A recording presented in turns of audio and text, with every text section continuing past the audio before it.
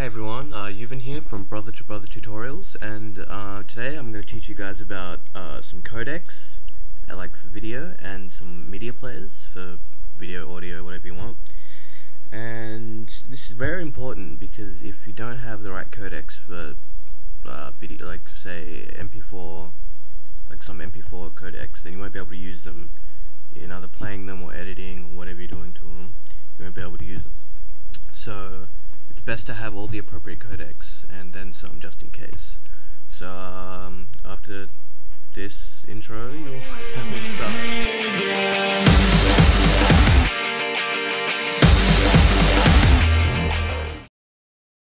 Alright, now to just jump into it. Um, here's the K-Lite codec pack, which is probably one of the best codec packs to get.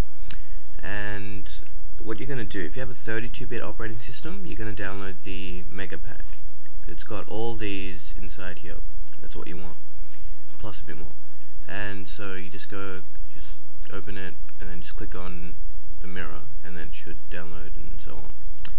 And but if you've got a, a 64-bit system, you don't just download this one by itself. You download this and this, because not all codecs are in 64-bit uh, yet and you're going to want a good uh, compatibility going because um, you know for general use and editing you need as much as you can get.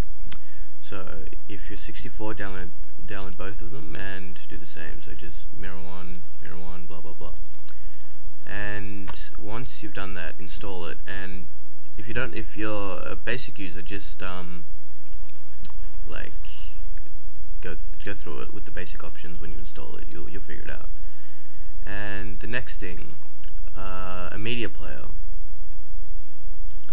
VLC, and this is one of the best known uh, media players out there, and it's it's really compatible with things.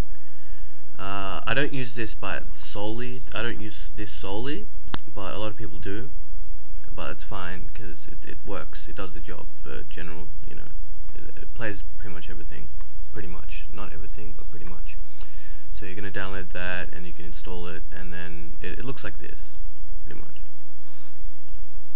Yeah, and uh, you can, my one, I'm using an older version because I don't like the newer one because uh, they changed a fair bit of stuff that I prefer the old version, so I'm using 1.0.5 uh, but the latest one is 2.0.2 and it's a different layout and so on, but you know, just use drag and drop or playlist, blah blah blah.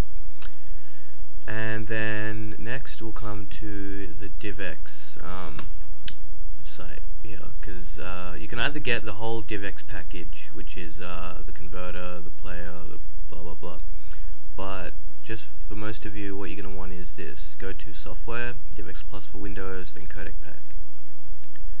Then from here, what you do, you press free download and download it and install it and so on and that's there's some very important codecs there and then finally we have the GOM media player this is also free and um, this I use as well I use a few players and this is one of them and this plays stuff like Flash like Swift files SWF and things like that and, and video audio blah blah blah and it looks like this.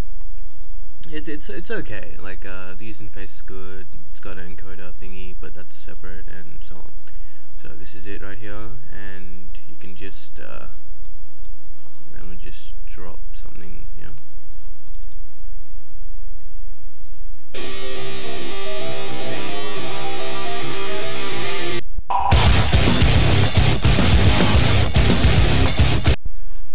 Yeah, yeah.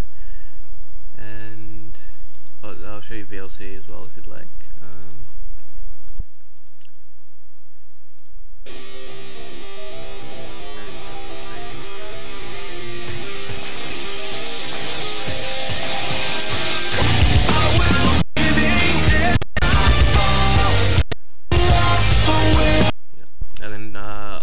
forgot to mention. Uh, K-Lite comes with Media Player Classic, which is one of the most compatible media players there out there, and uh, it's really useful. I use this as well, and uh, you know just. You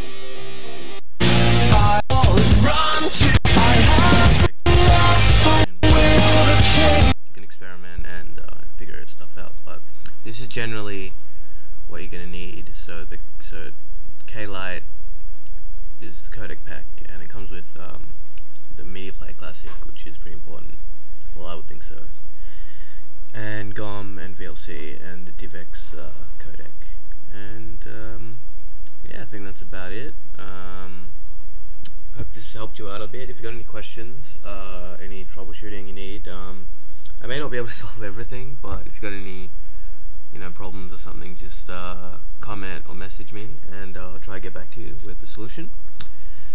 And codecs don't solve every video problem. Like uh, if you install your codecs, blah blah blah, and it doesn't work out, uh, there's a possibility that it's not the codecs, it's something else. So uh, don't blame the codecs. Just uh, fix, you know, do some more research and um, yeah, try to figure out your problem. Uh, yep. All right. That, I think that wraps this up. Uh, if you got any suggestions or anything, comment, message me. You know, you know the drill. Subscribe, like, you know, and uh, yeah. All right. Thanks for watching. See ya.